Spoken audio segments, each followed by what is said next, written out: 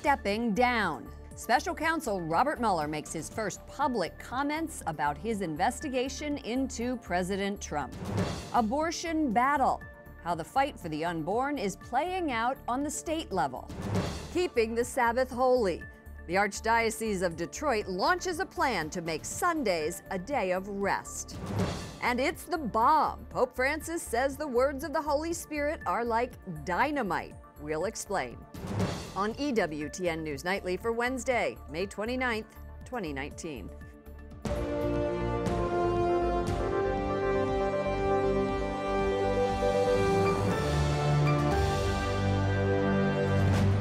Good evening from Washington, D.C., and thank you to those of you joining us from around the world for news from a Catholic perspective.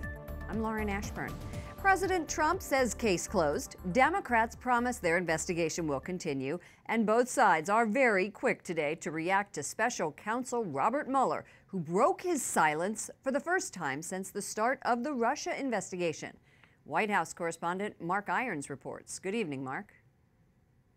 Good evening, Lauren. Making his own clarifications, the special counsel goes on camera for the first time to personally turn the final page on his report. We are formally closing the special counsel's office, and as well, I'm resigning uh, from the Department of Justice to return to private life. Special counsel Robert Mueller steps aside, but first goes in front of cameras to make a few of his final conclusions clear. There were multiple, systematic efforts to interfere in our election.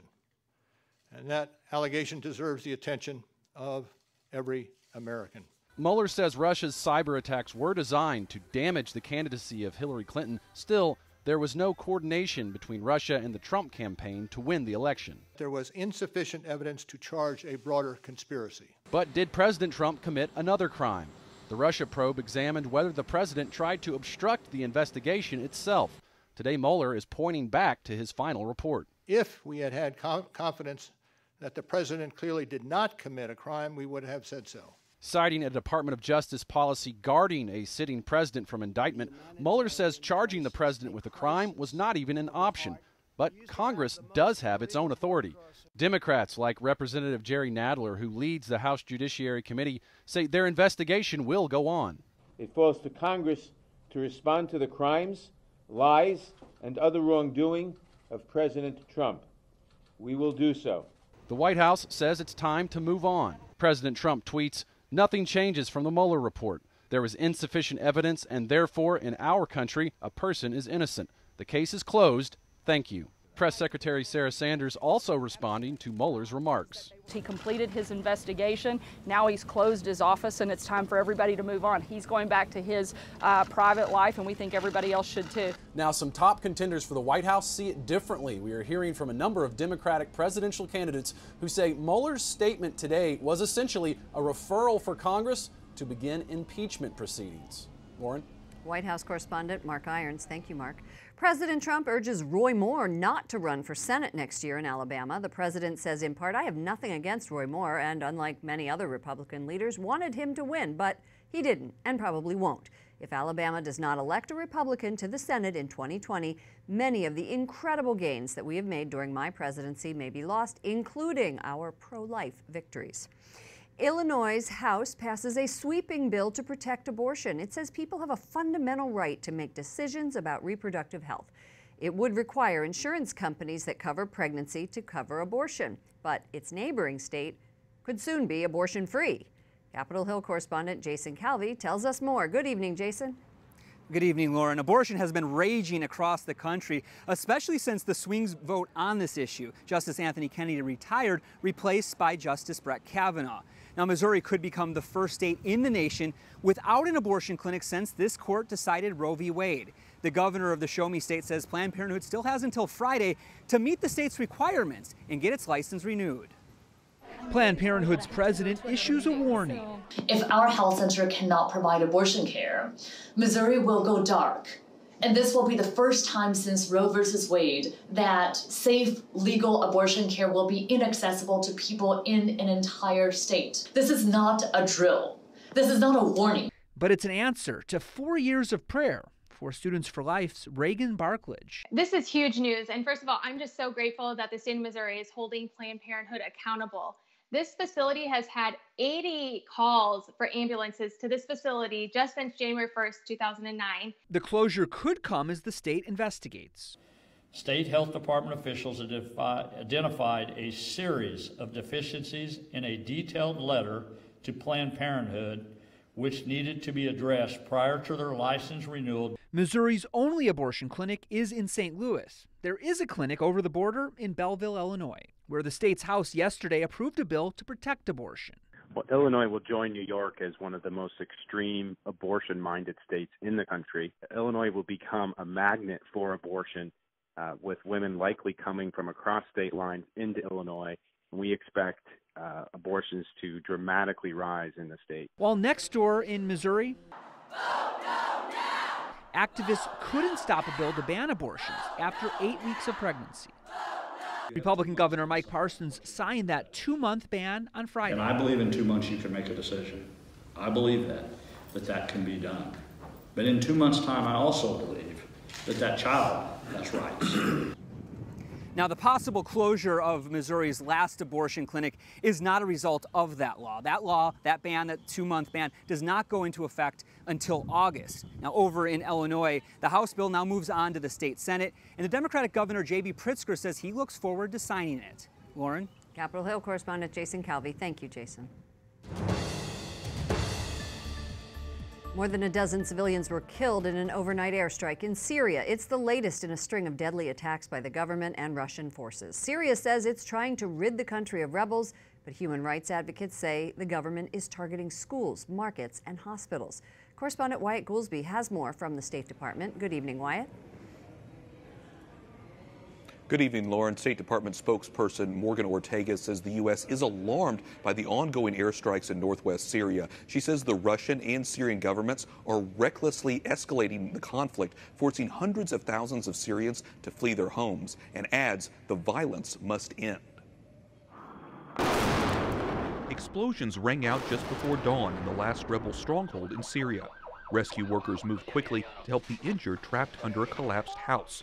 The responders, known as the White Helmets, report at least 15 people were killed in three villages.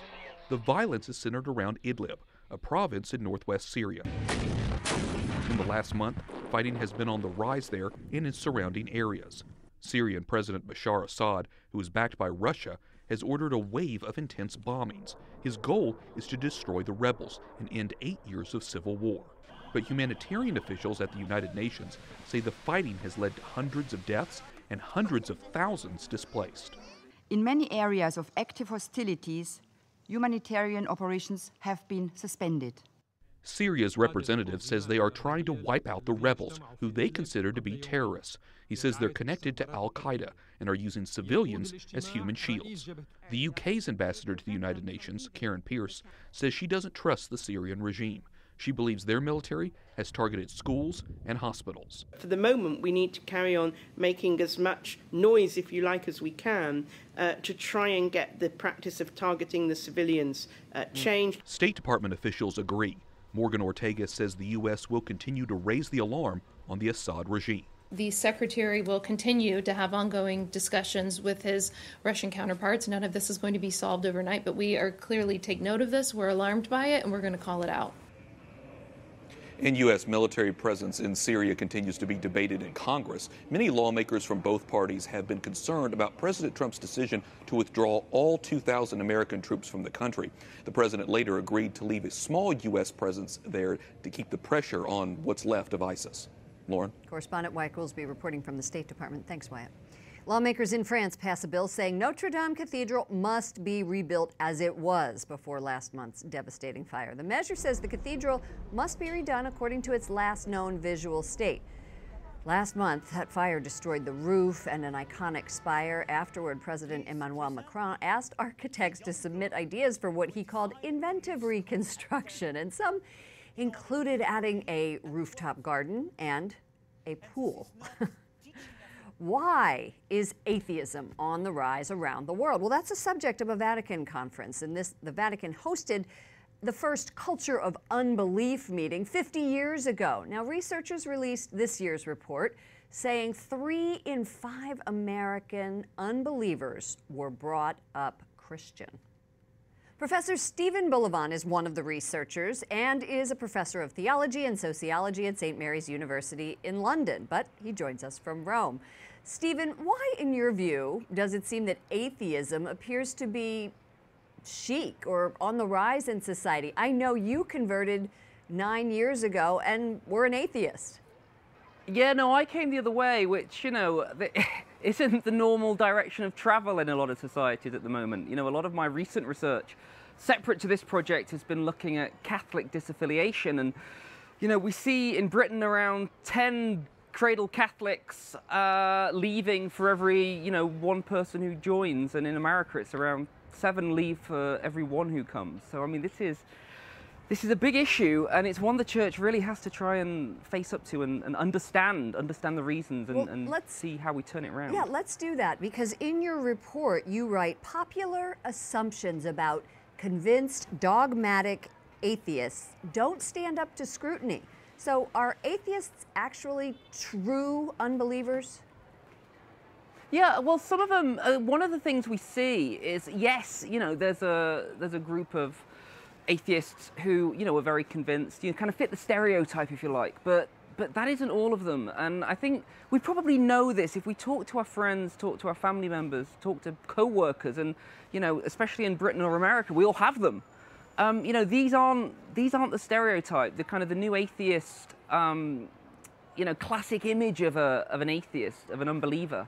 Um, these exist, and you meet a lot of them on Facebook, but, you know, that, that isn't the, the 20, 30, 40% of the population that, that we're seeing in, in many Western countries. Well, what is it? Is it the nones? Is that what you mean? Well, well, I mean, the nones are, you know, there's a there's a big overlap. It's not complete, but you know, a lot of nones, you know, still say they believe in God, still, you know, or aren't sure what they believe. So we're talking people who either say they don't believe in God or who don't know whether there's a God or not. Um, so that's who we mean when we're talking about unbelievers in this report. Um, and and a, a large proportion of them are nones, but equally, you know, there's a good chunk of those who, who still tick one of the Christian boxes on surveys. Um, you know, we know that there's a large proportion of, of Catholics, of, of Protestants, uh, who, who really don't believe very much, if at all. So let me ask you, we only have a, a little bit of time, but I know grandparents and parents Sure. want to know what to do when they see their children going that way and declaring themselves as atheists or even agnostics. Well, uh, I mean, the, you know, there's no one easy solution. I mean, we know we know that parental influence, grandparental influence, is the single biggest factor that, that there is in transmission. Um, so you know, all that parents can do is to practice themselves, to believe themselves, to try and show and live the faith, not just Sunday to Sunday. I mean, it's not just about you know, oh, we always took them to mass on a Sunday. It's about it's about praying through the week. It's about praying at bedtime. It's about rosary. It's about making that a, a really lived reality, and and it's becoming as culture becomes further and further and, and less and less hospitable to this kind of you know robust Christian identity. This is kind of the Benedict option. Then then we need to to either find others to make this seem more normal, or Right. you know really try and try and pass it on as best we can. Thank you so much, Professor Stephen Bullivant of St. Mary's University Pleasure. in London. Coming up, analysis of a former priest secretary's allegations about church officials and defrocked Theodore McCarrick.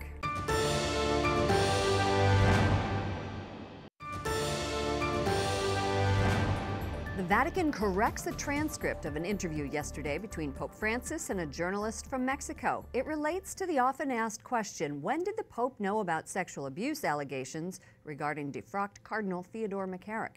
The correction made it clear that the Pope did not remember if in 2013 he had been told about allegations against him.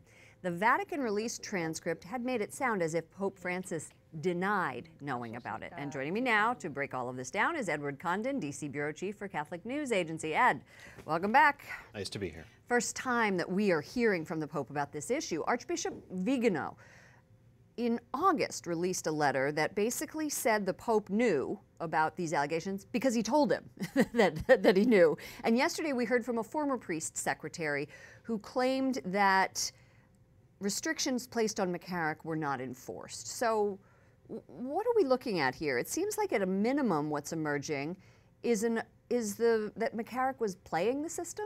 That's right. I think something that's um, that we have seen. This is the first time we've really seen the Pope address the issue of McCarrick at all, and what he may or may not have been told at different times.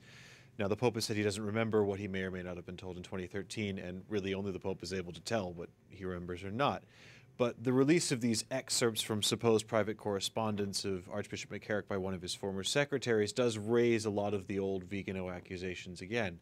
But one thing that is emerging from people around Rome, especially the Congregation for Bishops, where um, this investigation into how McCarrick was able to survive and thrive in the Curia for so long that's come forward, is that he was really very good at playing one hand against the other that different Vatican departments, whether it be the Congregation for Bishops or the Secretariat of State, would hear different things and say different things to so him. So they thought McCarrick was doing one thing, he might have been doing another, then he was going to China, then he was here, all of those different exactly. sorts of things. So, for example, Cardinal Giovanni Battista Re, who used to be the prefect for the Congregation for Bishops when McCarrick was still in ministry, or sorry, not when he was still in ministry, but when he was before he was defrocked um, and in retirement, clearly sent him a letter effectively turfing him out of where he was living in a seminary in retirement, ordering him out, saying no more public appearances.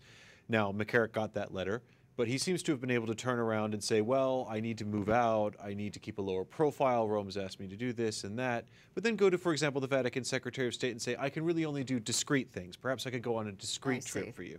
So the, the point about really what we're, we're seeing here is, and I think it comes because we haven't seen this report. We have not seen the report from the Vatican about Cardinal, ex-Cardinal uh, Theodore McCarrick. But then the point comes, well, why? Why, why do we even need to see the report? And I know you have a good answer to this. Well, we need to see the report because until we really understand how McCarrick was able to get away with this for so long, we can't guarantee it won't happen again. Now, in terms of why we haven't seen it yet, there's a lot there's there's really a lot of different reports that are being compiled. All the dioceses that McCarrick led have been forming their own assessment of all of the paperwork and letters he left behind, forwarding that to the Congregation for Bishops in Rome. excuse me, they themselves have been coordinating with other Vatican departments. So they've got to collect all of these things and filter them in. Now, it's not clear where they are in that process. We do know, um, we've understood from sources inside the Congregation for Bishops that the Archdiocese of Washington, D.C. has finished its review, that they've sent their conclusions to Rome. Those are ready and waiting. And that's where Theodore McCarrick was uh, the leader here of the Archdiocese of Washington. That's right. This is where he, this was the largest archdiocese he led, the most prominent position he enjoyed. It was what made him, what got him made a cardinal. Um, it is also, it's worth noting, not where allegations of sexual abuse against him tend to focus. That was more his time in Newark. Mm-hmm. But nevertheless, it really gives, I'm sure, a very good indication of whom he was speaking to in Rome, who knew what about him when, and who he was in communication with, and what he said. So we still need to wait for the report as more people seem to come out saying what they say they think and that what they think they knew at the time. All right. Ed Condon, DC Bureau Chief for Catholic News Agency. Thank you. Thank you. Up next, why the Archdiocese of Detroit is canceling youth sports on Sundays.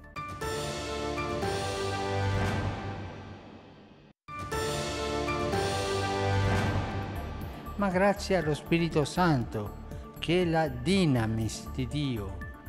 Dynamis. Okay, there's a hint. Pope Francis says the Holy Spirit turns human words into dynamite. At his weekly talk with pilgrims at the Vatican, the Holy Father says the Spirit is capable of tearing down walls of division and opening new paths for the faithful to find God. We've seen that here. In an effort to keep holy the Sabbath, the Archdiocese of Detroit brings an end to youth sporting events on Sundays. Archbishop Allen Vigneron writes in a pastoral note In shifting away from the hustle of required sporting activities on Sunday, we will reclaim this holy day and create more time for families to choose activities that prioritize time spent with each other and our Lord. Joining me now is Father Stephen Pullis from the Archdiocese of Detroit. He's the director of the Archdiocese Department of Evangelization, Catechesis, and Schools. Father, welcome to our broadcast.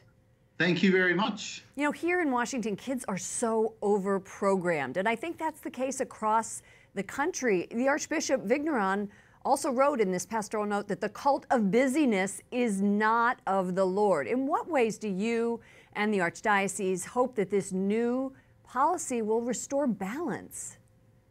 Well, we heard from so many families exactly what you're saying that they feel like unless they're always doing, doing, doing, that uh, they they feel like they're doing something wrong. And so this is a chance to say, God made us to be together, not just to be always doing activities. And He's especially made Sunday as a day for a family to come and just be together. And so we hope that this pastoral note will be an opportunity for families to take time away from all the activities so they can just be a family together. You know, I remember when stores were closed on Sunday. I'm giving away my age. Um, but young people today, as, as you said, just see everything happen. You go to church on Sunday, yes, but everything after that is normal, business, business as usual. So I'm imagining that uh, the Archbishop and are, is trying to reinforce uh, this notion that faith should be the focus on Sunday. Yeah, you know, I, I don't know that time of stores being closed on Sunday, uh, but this hey. is.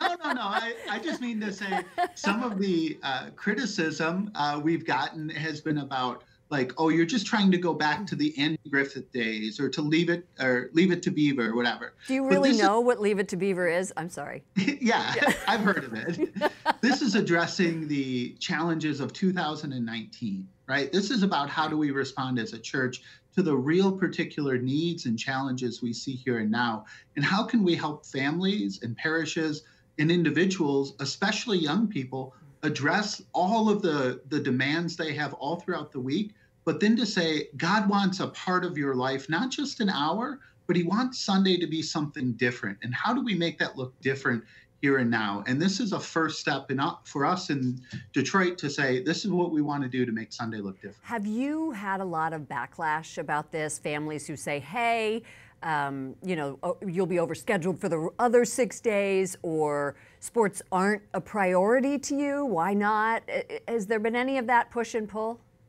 Yeah, there has been. There's been some really kind of uh, good-natured uh, questioning, like why why are we doing this? There's been some people who I think feel attacked because God for them is sports, right? That is their idol, their God, and so they feel like that's being attacked for them. And I think that's good for us to feel a pull uh, when we've taken something and put it on the throne of our heart and that something is not someone that's not god i grew up playing soccer and basketball and baseball I know the wonderful value sports has for instilling virtue, for helping young people grow in discipline, for teamwork, all of the great things. So this isn't an attack on athletics.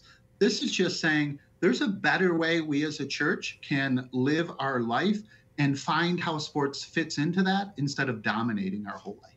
Well, Father Stephen Pullis, wise words interesting, interesting uh, directive that's coming from the Detroit Archdiocese. Uh, you're with the Department of Evangelization and Catechesis and Schools. Uh, our producer is from Detroit, Rodney Harris. He, I'm sure he would yeah. say hello to you, right? and thank you so much for joining us. Thank you so much. For all of us here at EWTN News Nightly, to all of you around the world, thanks for watching. I'm Lauren Ashburn. Let's keep in touch online. You can follow me at Lauren Ashburn on Twitter Lauren Ashburn, EWTN on Facebook. Good night, and God bless you.